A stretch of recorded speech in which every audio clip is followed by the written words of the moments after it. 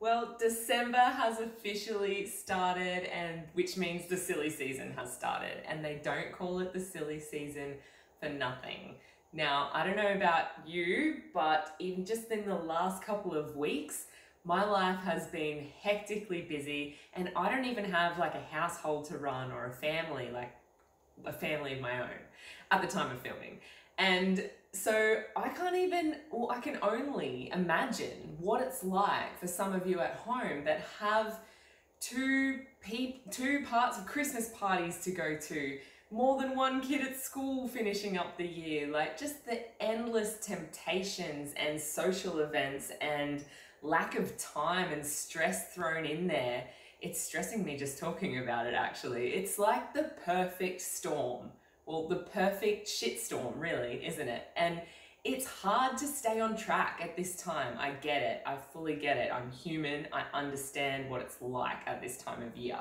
So, I wanted to share with you just three things that have been in my mind the last couple of weeks and that have helped me kind of get through some of these times. The first one is spending a little bit of extra time in the kitchen while you're in it. I know this sounds a bit like a contradiction because you don't have the time, but while you're here, do a little bit of something that's going to help your future busy self. So, for example, it might be just modifying a recipe a touch so that you have an extra serve or two to put in the freezer for when you are time poor and you don't have time to cook dinner, so you don't go grab to Uber Eats or something. You've got something there to grab out.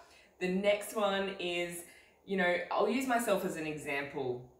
Last week, I spent a bit of extra time, even though I was really busy, to make a couple of double batches of protein balls and I repurposed them in so many ways. So they the first way was that when I just needed a little bit of fuel and I couldn't I didn't have time to stop work for very long.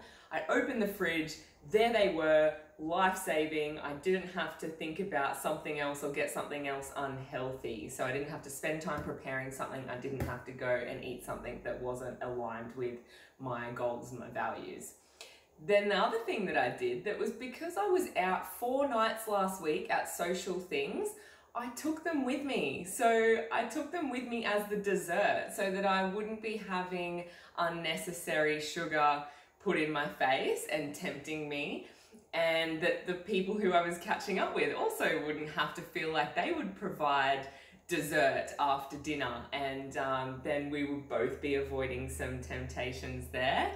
And I also gave them, like, wrapped them up nicely and gave them away as presents. So just spending those few extra moments in the kitchen allowed me to repurpose those things. So that's my tip number one. Even though you feel overwhelmed, spend a little extra time here and it will go a long way with a lot of benefits from it. The second thing is don't be complete wet blanket and just avoid all fun and all things. Like this year has been hard. It's been tough. Like you deserve to have a little bit of treat time and a little bit of downtime and letting your hair down. So my advice is when you go to events, choose the events or think about beforehand how you're going to approach them. That could look like if it's an event where you take your own dish, everybody takes a dish, take something healthy that you like so that you have at least one option to fill up on 50 or 80% of, and then you can have little bits of other things around. So you're still having that balance.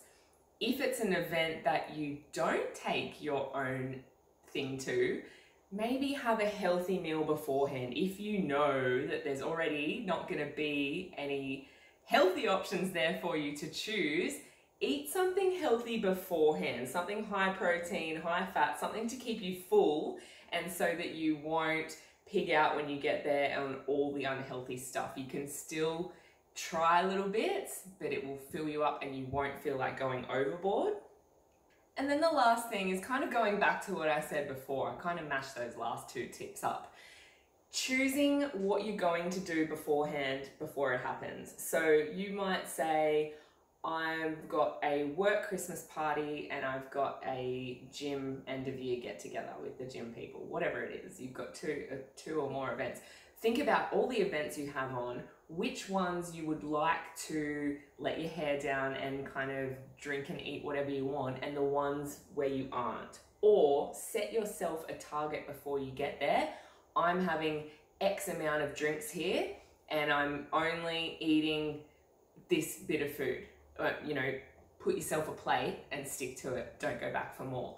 So we need to just have a little bit of a plan in place or a little bit of a goal to keep us on track. Otherwise, it's way too easy to just blow out completely and then adopt the attitude of, I'm going to start next year. So then allowing yourself to have another whole month or whatever it is to be like that and to act like that and behave like that, which is not going to make your motivation in 20 in the next year any easier. It's going to make things a lot harder for you. So the little things that we can do now, take off the stress, still keep that balance, let your hair down, enjoy some things, but just know how much of it you're going to enjoy. So there are a few of my tips for staying sane and staying balanced this silly season. Do your best, let your hair down, have fun, but also don't completely give up on your goals.